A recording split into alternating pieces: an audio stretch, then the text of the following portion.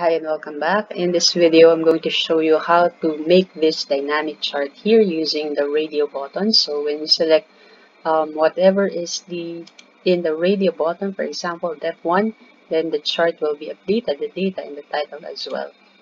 And uh, we're gonna do it in the sheet, sheet 2.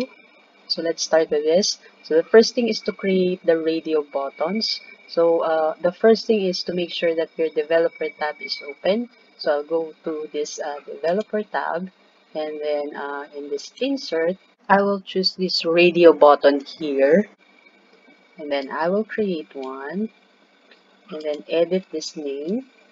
I will use uh, depth one, the same as the headings here. Enter and then right click and choose copy, control V and then change it again into depth 2 and control V, depth 3,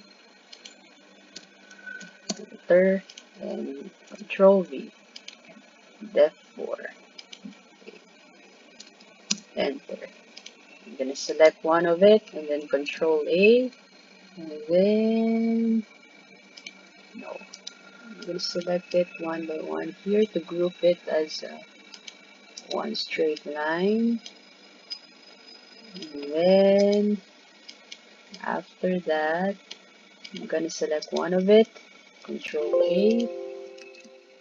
I will go to this Format tab and then Align, and then I will group it as uh, Align Left, and then Distribute Vertically.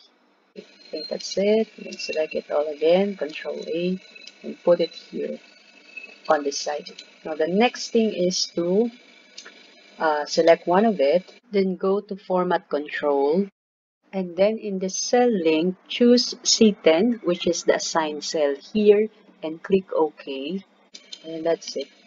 When you check it, when you click that one, this is 1, that 2 is 2, and 3, and 4. So that's it.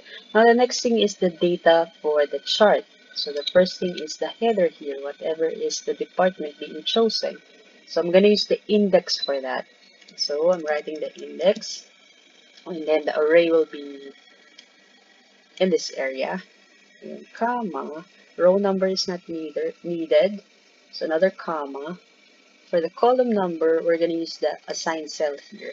And then close it, enter, that's it. When you choose depth 1, depth 1 will be in here. Now the data for depth 1 which is here, I'm going to use index and match for that because the, the data here is in a table format.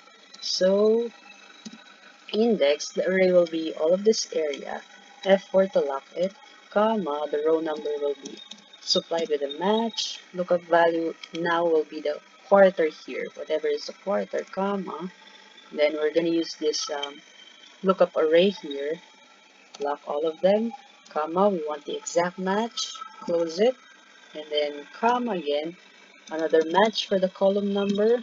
The, now the lookup value will be whatever is the heading here, but lock the row. So put a dollar sign before the 15 here, comma. The lookup array will be in this area. And then F4, comma, leave it blank because we want exact match. Close the match and close the index, enter. Copy and paste it, and that's it. That's the data uh, we need for whatever is the chosen um, options in the radio button. So I'm gonna check it meantime.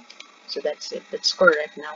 Now let's um, create the chart. So just select this area and go to the insert tab and then click this recommended charts. I'm gonna I'm not gonna edit any chart for that. I'm gonna use the recommended chart and then I will use this clustered column and click OK.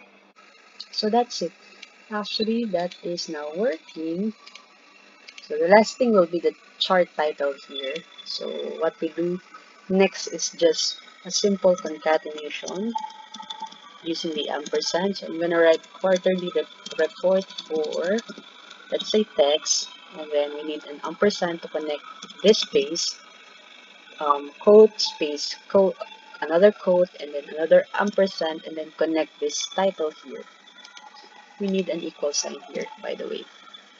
In here. Okay, enter, and that's the title, chart title. And then link this chart title here in this cell, click enter, and that's it. Now it's changing, including the title. And let's finish. I'm finish here. I'm done. If you like this video, you can subscribe in my channel and see you next time and thanks.